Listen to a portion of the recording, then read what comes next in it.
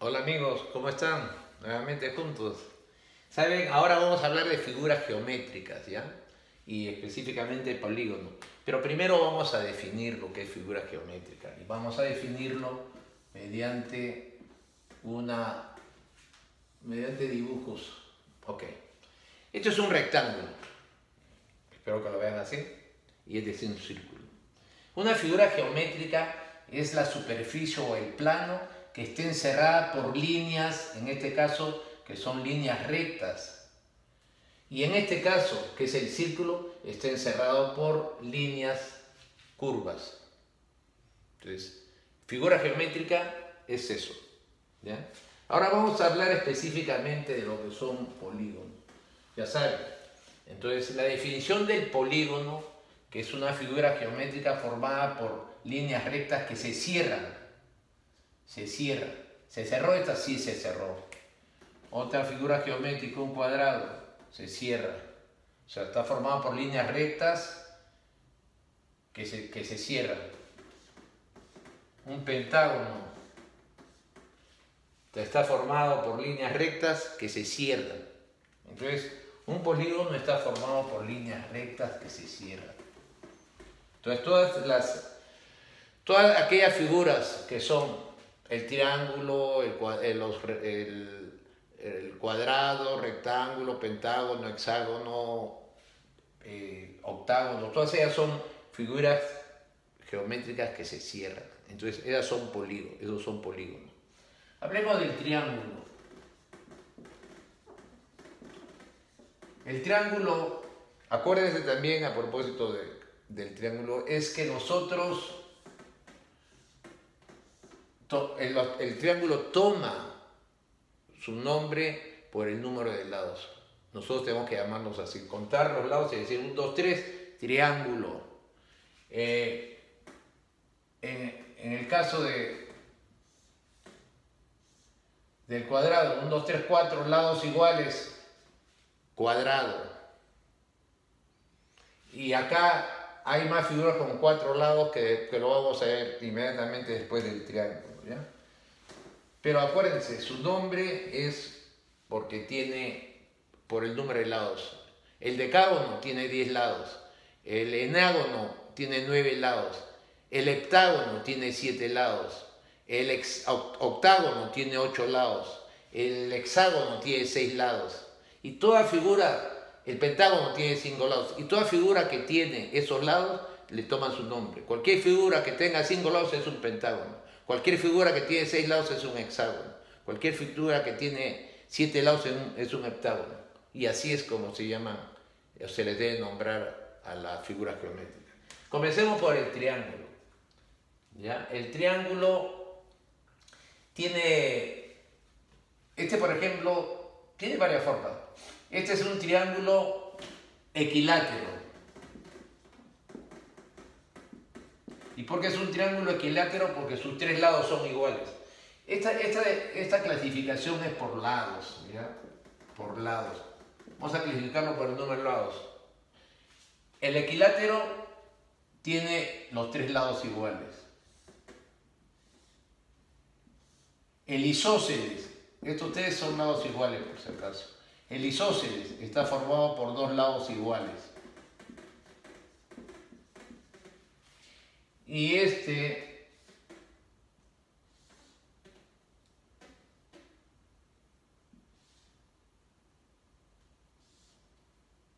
está formado por tres lados diferentes. Este está formado por dos, tres lados diferentes. Tres lados diferentes de tamaño se llama escaleno. Escaleno. Entonces, los triángulos cuando tienen tres lados iguales son equiláteros. El isósceles que tiene dos lados iguales es, uh, se isósceles, tiene dos lados iguales. El escaleno no tiene ningún lado igual, por eso no lo pongo, no tiene ningún lado igual. Y esto es interesante saberlo porque cuando tú sacas, por ejemplo, el perímetro de este triángulo, tú sabes que es 5 centímetros, ya sabes que ese es igual entre 5, 10, 15, ¿no? 5 centímetros, 5 centímetros y 5 centímetros. Son, eh, eh, triángulos equiláteros y cuyos perímetros o cuyos lados son iguales y el perímetro significa solamente repetir este 5 centímetros acá y acá, 5, 10, 15 centímetros o 5 por 3, 15 centímetros. Los isósceles, en cambio, tienen más que dos lados iguales. Este es diferente. Y los escalenos, los tres lados son diferentes. Las, uh, las partes de una figura geométrica son los vértices, los lados y los ángulos.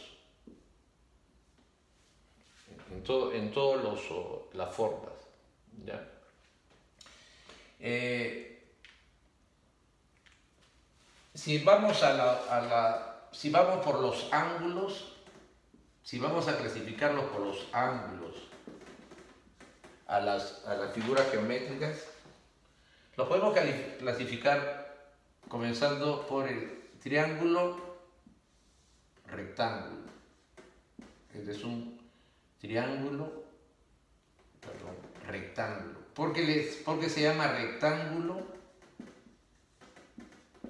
Porque tiene un ángulo recto. Y, el ángulo recto, hemos visto un, video de, de, ángulos, es aquel que está formado por dos, por dos perpendiculares, dos líneas perpendiculares. Dos líneas perpendiculares, dos líneas derechas que se coinciden en este punto y forman este ángulo recto. Por, por eso se llama triángulo rectángulo. Un triángulo Un triángulo de esta forma es un triángulo acutángulo, acutángulo. ¿Y por qué es acutángulo? Porque tiene las, eh, los tres ángulos agudos. Entonces es acutángulo porque tiene los tres lados, los tres ángulos agudos.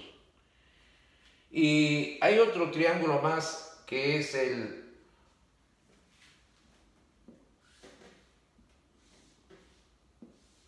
el triángulo obtusángulo.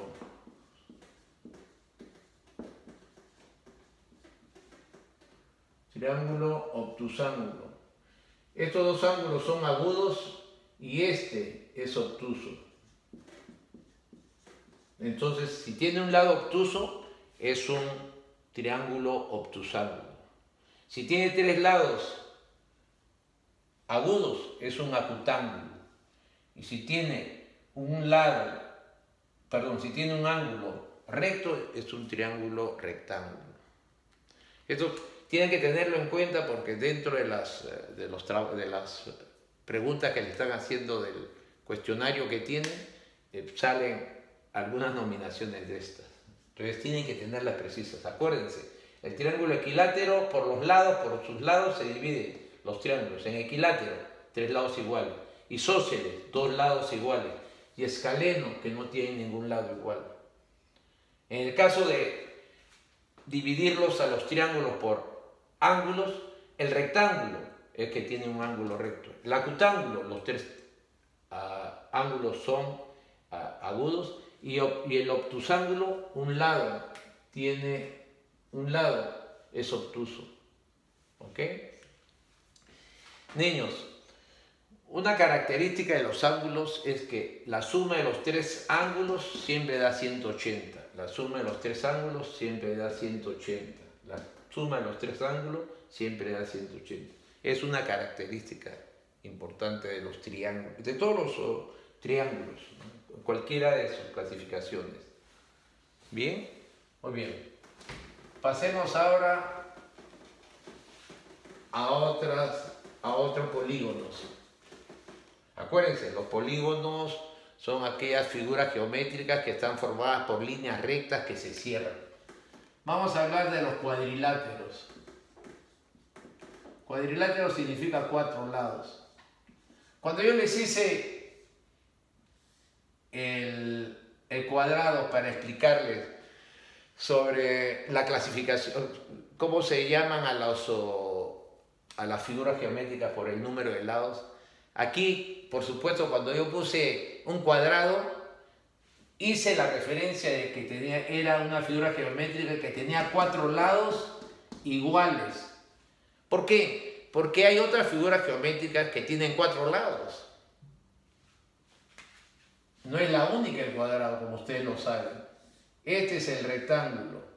En este caso, aquí tiene dos lados iguales y otros dos iguales. La figura geométrica, el polígono, el, rectángulo es un polígono que tiene cuatro lados, pertenece a los cuadriláteros, pero que tiene dos lados iguales por sí y otros dos lados iguales entre sí. No tienen los cuatro lados iguales como el, como el cuadrado.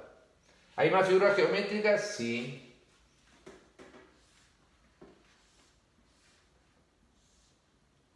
Esto se llama paralelogramo. Este cuadrado, este rectángulo y este paralelogramo.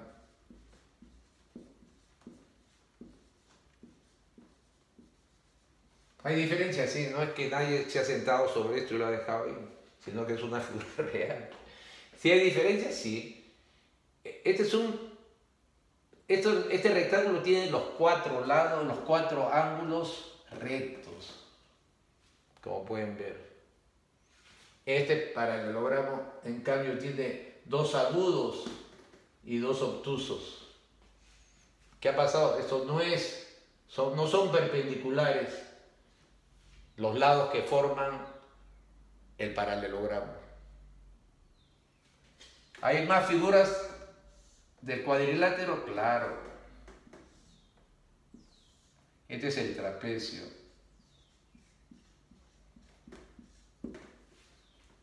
¿Ok? Y este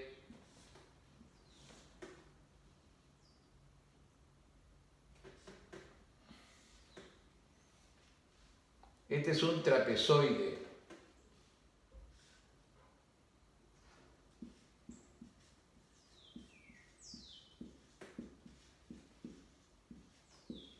es un trapezoide. Vamos a, verlos. El cuadrado tiene sus cuatro lados iguales y tiene sus cuatro ángulos rectos. Y tiene dos lados paralelos por este lado y dos lados paralelos por el otro lado. El rectángulo tiene dos, dos lados iguales por sí y otros dos lados iguales también entre sí. O sea que, y esto con este el de arriba con el de abajo son paralelos y los de costados también son paralelos.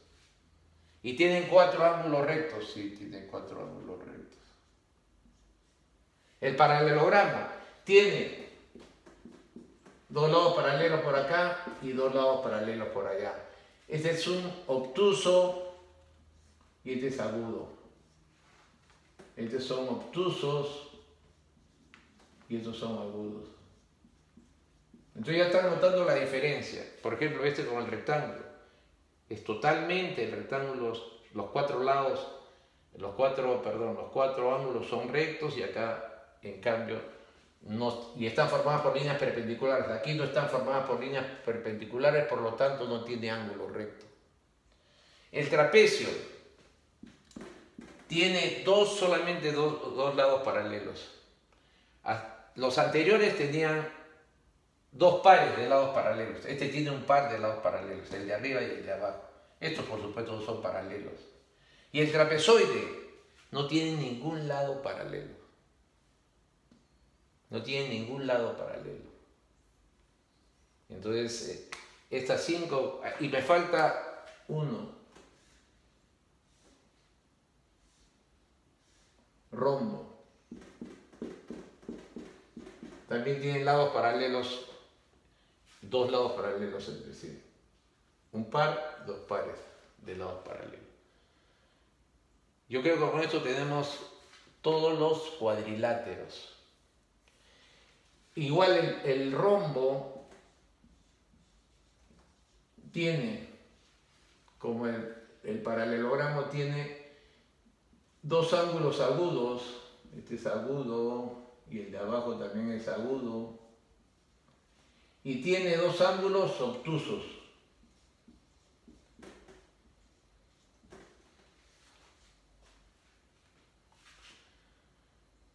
Eh, perdón, esto no se ve muy bien acá. Ok. Este es el rombo. ¿Ok? Tiene dos lados paralelos, dos pares de lados paralelos.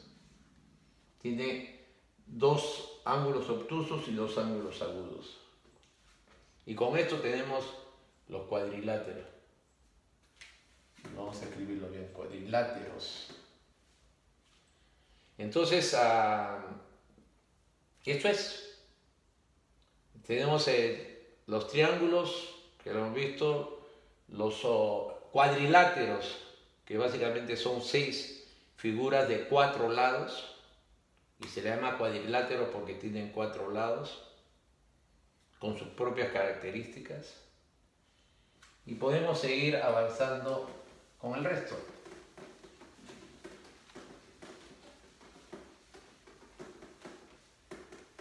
En el, aquellas figuras que tienen cinco lados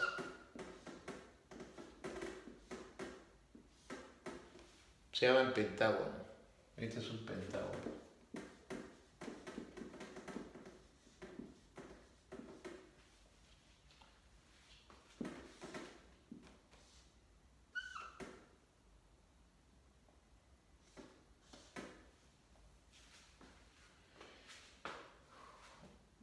Una vez puse esta figura geométrica y le pregunté, ¿qué es? ¿Qué figura geométrica es esta? Algunos niños no, no supieron decirme. Yo le dije, cuéntalos. ¿Cuántos lados tiene? Un, dos, tres, cuatro, cinco. Cinco lados. Si tiene cinco lados, es un pentágono. No normalmente vemos el pentágono de esta manera, pero acuérdense, las figuras geométricas tienen su nombre por el número de lados. No importa la forma que tenga. No importa la forma que tenga. Estas figuras, como este pentágono, se llama regulares, figuras ah, geométricas regulares porque tienen los lados iguales. Tienen los lados iguales. Esta no tiene los lados iguales, pero son pentágonos. Estos son eh, pentágono regular y este es un pentágono irregular, si quiere llamarse así, porque no está formado por lados iguales. Pero es un pentágono porque tiene eh, seis a cinco, perdón, cinco lados.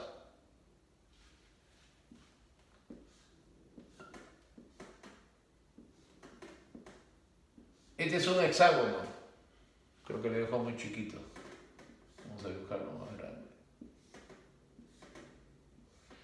Es un hexágono regular.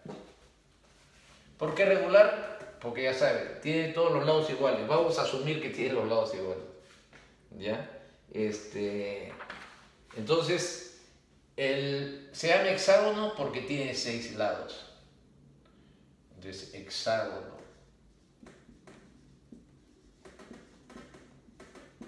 Seis lados. Les voy a enseñar acá para que ustedes puedan ver. Este de acá es un hexágono, seis lados. Este es un heptágono, siete lados. Este es un octágono, ocho lados. Este es un decágono, diez lados. Entonces, por el, estos son regulares, ¿ah? porque tienen, eh, todos los lados son iguales. generalmente o normalmente ustedes ven este tipo de figuras. Pero insisto en que las figuras se, le, se conocen por su número de lado. No, no, necesariamente todas las figuras son regulares. Hay figuras irregulares, puedo hacer cualquiera.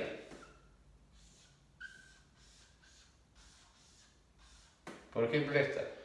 ¿Eso es un polígono? Sí. ¿Por qué es un polígono? Porque está formado por líneas rectas y que se han cerrado. Entonces, eh, yo puedo decir que este es un polígono, claro. ¿Y qué nombre tiene? Vamos a ver, 1, 2, 3, 4, 5, 6, 7, 8, 9. 9. los nueve se llama eneágono. Es un eneágono. ¿Por qué? Porque tiene nueve lados. Entonces, acuérdense, los polígonos tienen su nombre por el número de lados. Eso es. Hablemos un poco, ya que estamos en este campo de la geometría, hablemos de las transformaciones. ¿Se acuerdan de las transformaciones? Bueno, vamos a hablar de las transformaciones. Vamos a hacer recordar lo que es transformación.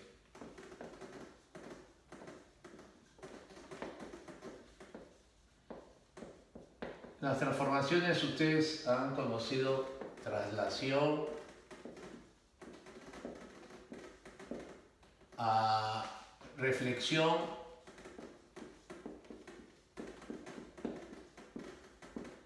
y rotación.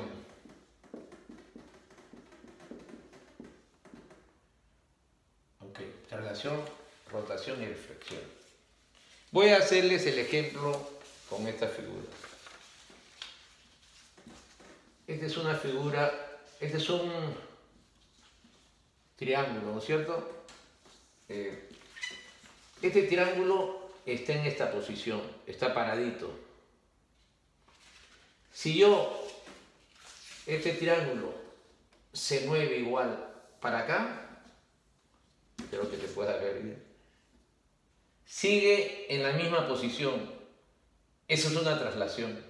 Para acá sigue en la misma posición. Para acá sigue en la misma posición. Es una traslación. Para acá sigue en la misma posición. Para acá sigue en la misma posición. Si mantiene su misma posición cuando se mueve de diferentes formas, esa es una traslación. Una traslación. Si se mueve de acá para acá en la misma forma es traslación. Si se mueve para acá arriba es una traslación.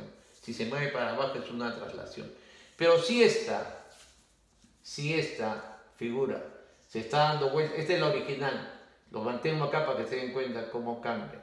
Se está dando vuelta, es una rotación, una rotación, una rotación, una rotación, una rotación. Y sigue la rotación, sigue siendo una rotación. En cualquiera de estas posiciones sigue siendo una rotación. Si está aquí en esta posición, es traslación. Pero si está moviéndose, dándose vueltas, lo que es rotando, dando vueltas, es una rotación. ¿Ok? Esto es un... haciendo recuerdos. Y finalmente la reflexión es cuando se miran frente a frente como un espejo, ¿no? Reflexión, reflexión, reflexión, reflexión. ¿De acuerdo? Y... Hablemos, para seguir, vamos a seguir acordándonos de algunas cosas. Hablemos de, ok, hablemos de congruencia y similares. Congruentes y similares. Ok. Muy.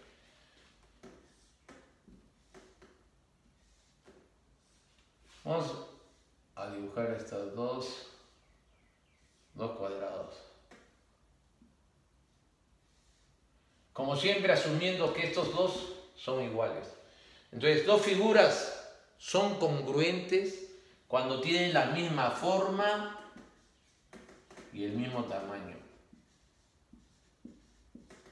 La misma forma, son cuadrados y el mismo tamaño esos son congruentes. Tienen la misma forma y el mismo tamaño. Este es otro cuadrado, pero más chiquito. Estos dos tienen diferentes tamaños. Este tiene igual forma, igual tamaño. Este tiene diferentes tamaños no son iguales los tamaños, pero tienen igual forma. Cuando tienen diferente tamaño, pero sí tienen la misma forma, o sea, este es más grande que este, Este cuadrado es más grande que este cuadrado. Entonces, estos, entre sí, estos cuadrados, el grande y el chiquito, son similares. Estos de acá son congruentes y estos son similares. ¿Por qué son similares? Porque no tienen igual tamaño, pero sí tienen la misma forma. ¿Ok? Entonces, acuérdense, cuando tienen la misma forma, pero diferente tamaño, son similares. Cuando tienen la misma forma y el mismo tamaño, son congruentes. ¿Ok? Estos de acá son congruentes.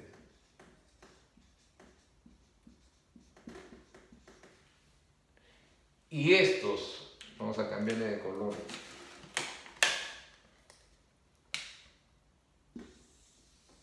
Estos de acá son similares.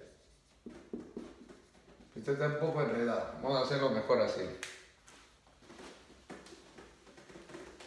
Vamos a hacerlo así. Ok, comenzamos. Voy a hacer congruentes.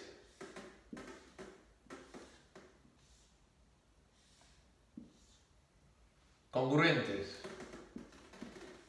Estos dos cuadrados son congruentes porque tienen igual forma, igual tamaño.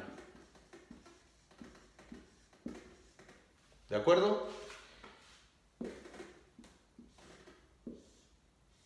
Estos dos cuadrados son similares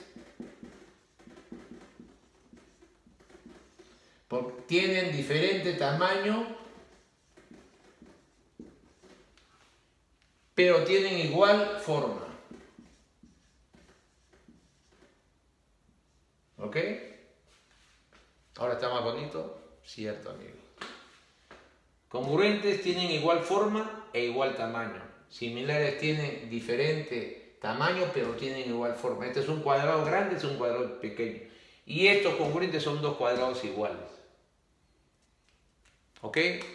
Acuérdense. Y para terminar solamente de acordarnos de esta parte, vamos a hablar ahora de eje de simetría. Un eje de simetría es justamente una línea que divide en partes iguales la figura. En este caso, si yo pongo, lo divido así, este es igual que este. ¿No es cierto? Entonces son, asumiendo que están en la mitad, ¿no? Esos son dos partes iguales, este es un eje de simetría. Este es un cuadrado. Lo divido acá y la parte de arriba con la parte de abajo,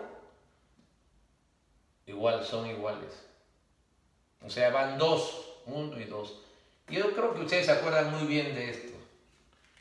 Después, lo divido acá es igual esta mitad con esta mitad 3. Lo divido acá, es igual esta mitad con esta mitad 4. ¿Recuerdan? Es un eje de simetría. En este rectángulo, esta mitad, este es igual que este, eje de simetría. Esta mitad, este otro dos ejes de simetría más, porque este divide igual en partes iguales. Ya tenemos dos ejes de simetría. Este cuadrado tenía cuatro ejes de simetría. Este tiene dos. ¿Por qué? ¿Por qué dos? Porque cuando yo divido acá como lo hice con el cuadrado, la parte de arriba es diferente a la parte de abajo. No es lo mismo.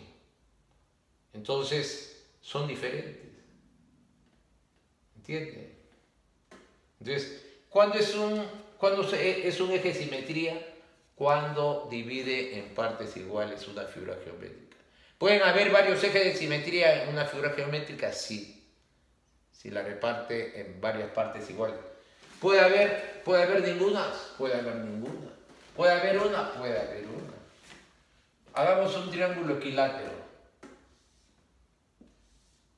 Estas tres estos tres lados son iguales. Si estos tres lados son iguales, esta la divide en partes iguales. Esta lo divide en partes iguales. Y esta lo divide en dos partes iguales la, las bases anteriores. Esta divide este lado en partes iguales. Esta línea de simetría divide esta base en partes iguales. Y esta línea de simetría divide esto en partes iguales. Entonces esto tiene tres ejes de simetría. ¿Por qué? Porque es un triángulo equilátero. Porque este es un equilátero. Tiene los tres lados iguales. Entonces lo divide en tres partes, pues son tres lados iguales. El isósceles, en cambio, tiene más que dos líneas, dos lados iguales. Como tiene dos lados iguales, no puedo hacer lo mismo que no puedo hacer lo mismo que el otro lado. No, no, no, no puede partir en dos partes iguales esa, esa área. Solamente de acá. Solamente de acá lo parte en partes iguales. ¿Por qué? Porque estas dos son iguales. Entonces en el isósceles solamente tienes un eje simetría.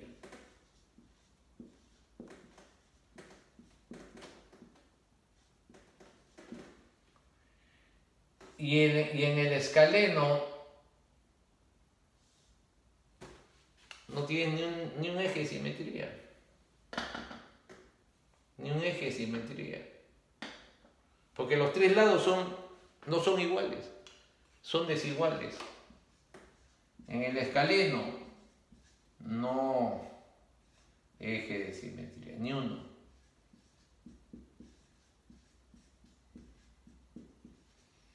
Yo creo que con esto tienen bastante práctica ustedes en eje de simetría. Así que esto solamente es para recordarlo. Mis amigos, espero que con esto hayan recordado una parte de lo que es la geometría. Nos vemos en cualquier momentito. Adiós amigos.